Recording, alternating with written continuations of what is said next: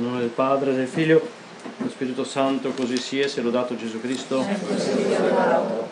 Cari fedeli, quarta domenica dopo Pentecoste inizia la serie dunque delle domeniche, quale si porta anche il paramento verde e si continua dopo aver festeggiato, celebrato i grandi misteri della redenzione, per ultimo dunque quello del Sacro Cuore, si continua a essere istruiti da Santa Madre Chiesa per, per santificarci, per fare la nostra salvezza, per allontanarci sempre di più dalle sirene del mondo.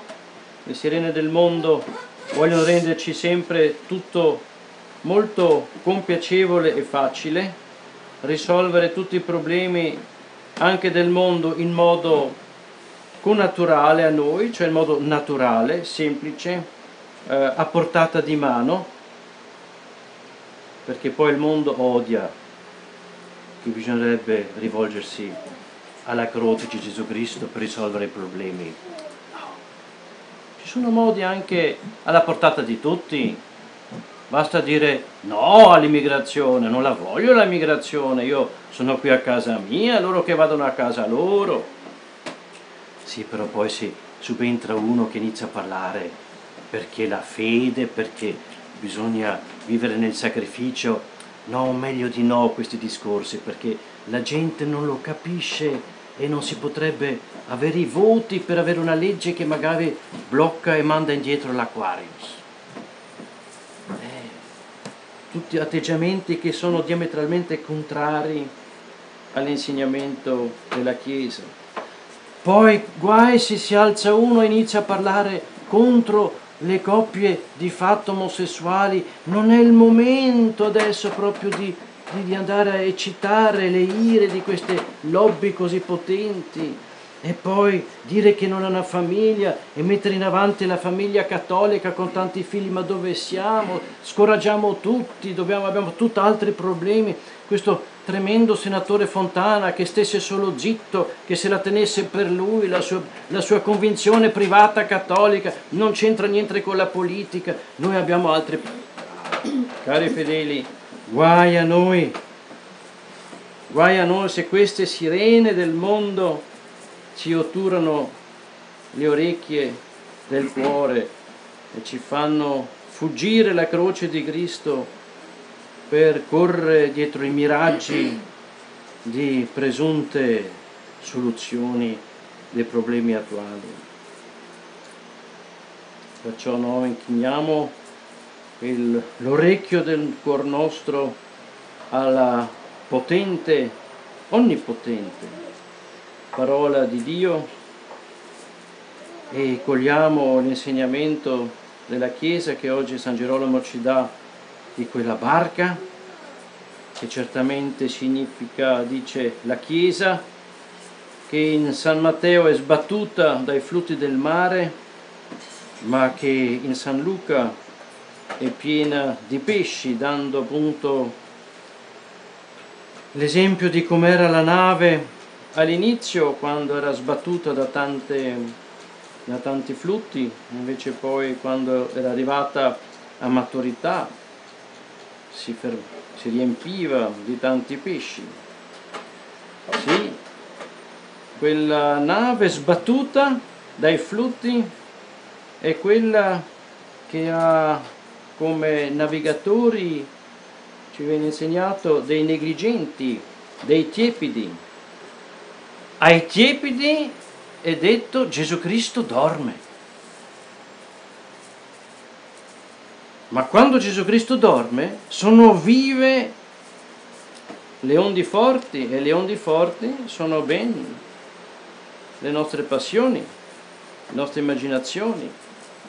E allora siamo sbattuti come presi a schiaffi dalle nostre proprie potenze interne immaginazione, ogni tipo di, di influsso su di noi che non riusciamo, non riusciamo a, a controllare.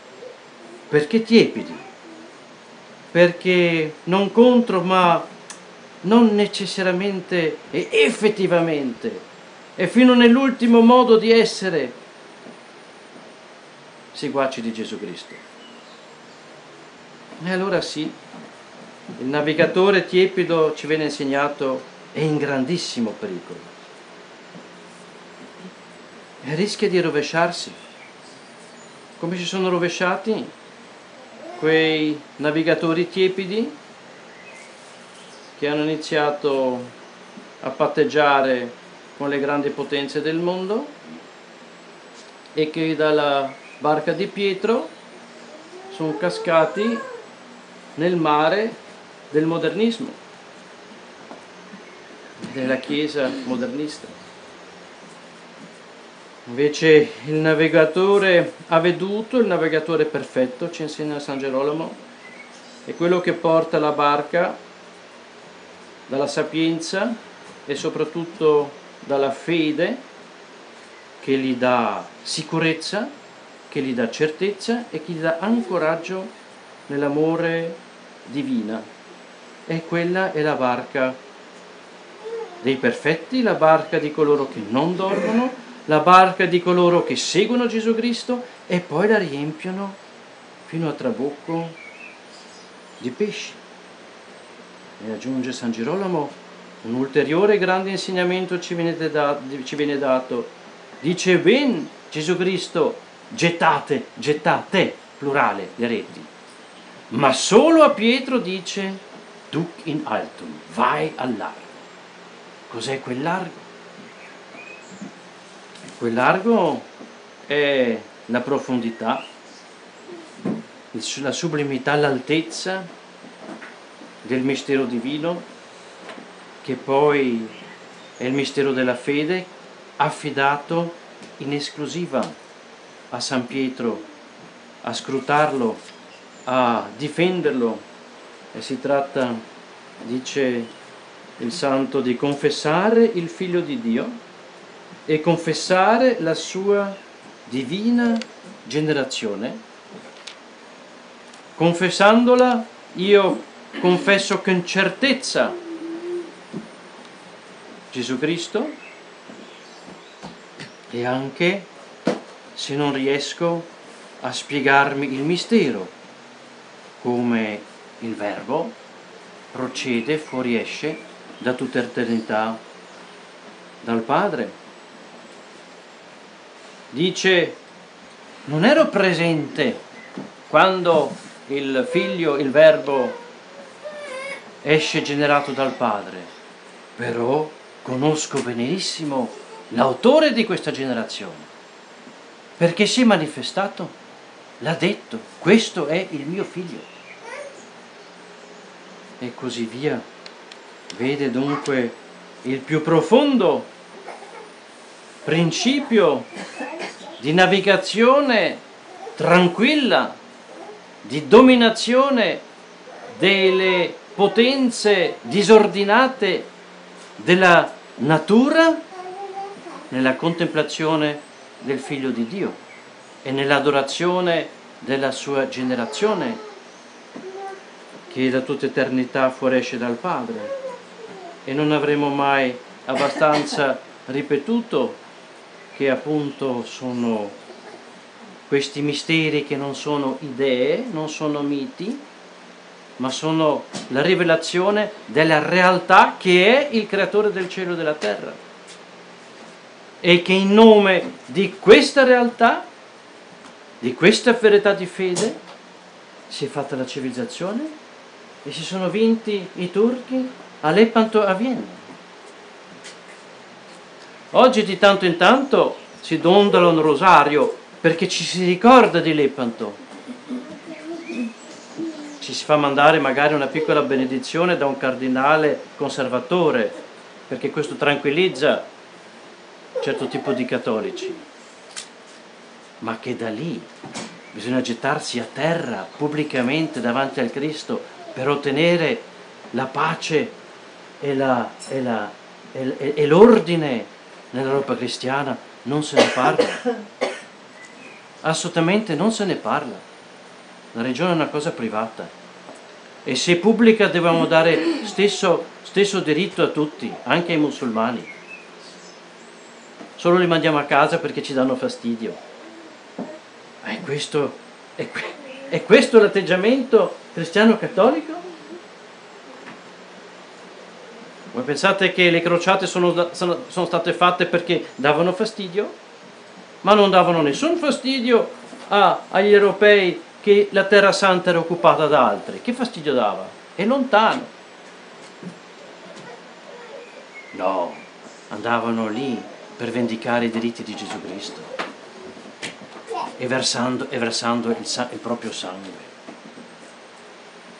13 crociate, ben, ben, ben, ben minimo 2 milioni di persone.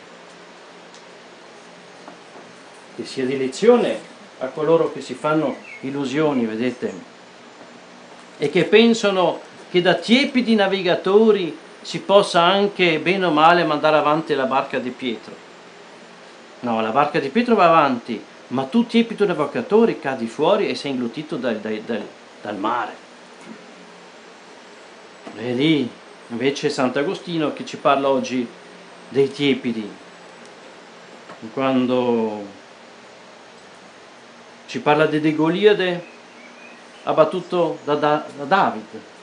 E quando ci dice però il vero David era il Cristo e che ha combattuto contro Satana, contro il diavolo, con il legno della croce e con quella vittoria alla differenza di prima di Gesù Cristo, ci insegna Sant'Agostino, Gesù Cristo ha legato il diavolo.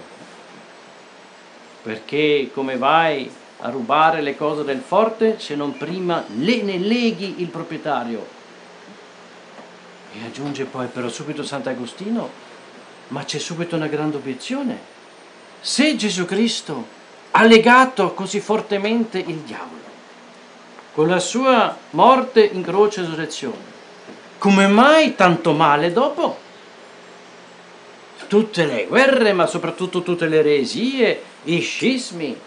Se Gesù Cristo ha vinto, ha vinto il diavolo e legato, perché l'Islam, che da secoli e secoli distrugge l'Europa e il mondo, perché? Eh, indipendentemente dalla stessa risposta che ci ha insegnato poc'anzi San Girolamo. I tiepidi sono poi vittima della violenza diabolica. È lì che ci dà quel famoso, oramai già conosciuto insegnamento. Esso infatti è legato come un cane alla catena, cioè il diavolo dopo la vittoria di Gesù Cristo. Dice, e non può mordere nessuno il cane attaccato alla catena. Non può mordere nessuno, se non l'imprudente, che gli si unisce con funesta confidenza. Vedete allora, o oh fratelli, quanto è stolto l'uomo che si lascia mordere da un cane incatenato. Guarda quanto è stolto il cristiano che pensa poter indulgere con le sollecitazioni del mondo. Guarda quanto è stolto il cristiano cattolico che pensa possiamo fare la politica non sempre e soprattutto non mettendo avanti la religione. Ah, Vuoi fare politica così? Allora sei stolto tu, perché chi è contro di te, lui religione la fa, ma fa la contro-religione. No, no, questi sono discorsi fondamentalisti. Non vi, non vi fate nessuna illusione.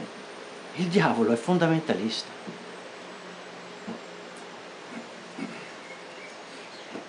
E se non lo affronto con la croce di Gesù Cristo, sono lo stolto che si avvicina alla, al, al cane a una distanza meno lunga che non è la catena.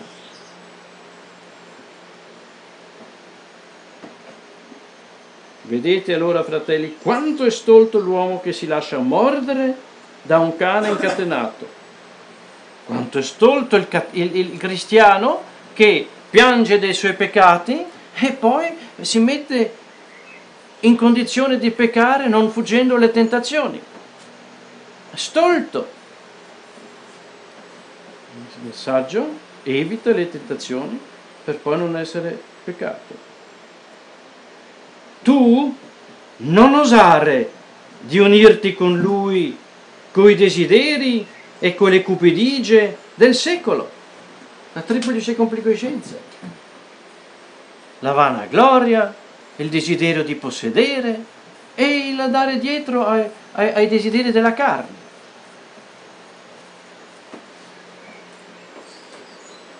Ben riuscito invece quello attaccato alla carne, alla catena, di trarre tutti in questo retaggio. Ansia per due soldi per arrivare a fine mese, ansia di una casa che forse non si può neanche più mantenere, pertanto è l'IMU, e ansia di passare come un fallito se poi magari mi faccio vedere senza lavoro e senza cara da poco.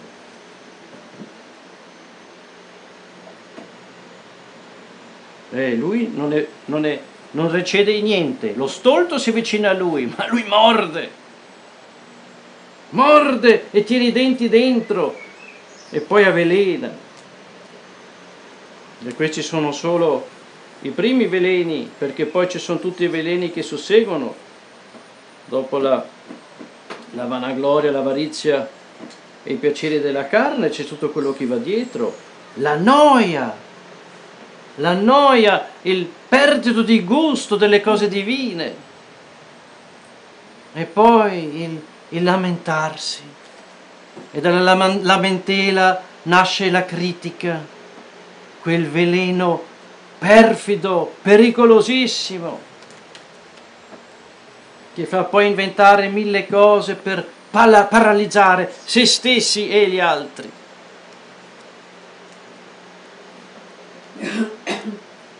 Perché questo morso avvelenatore della critica sia presto guarito anche in questa comunità tu non osare di unirti con lui con i desideri e con le cupidigie del secolo, ed esso non oserà d'accostarti. Grande insegnamento adesso, cari fedeli, a ripetere a tutti quelli che corrono ai mille centri di preghiera e di liberazione, è tanto più vero perché li ho visti, si rotolano per terra, urlano, grida, tutti sti indemoniati, andiamo tutti alla preghiera di liberazione e poi per avere il surplus facciamo anche un viaggetto a, a Meggiugorie. Cosa scrive qui invece Sant'Agostino? Può abbaiare, può provocare, ma non può assolutamente mordere se non chi lo vuole, perché esso nuoce non violentando. Il demone non violenta, non estorce consenso Satana. No, non fa così. Perché non fa così? Perché non violenta la nostra volontà? Perché non ci estorce un sì? Perché sa benissimo che non può. Satana non può niente contro la nostra volontà.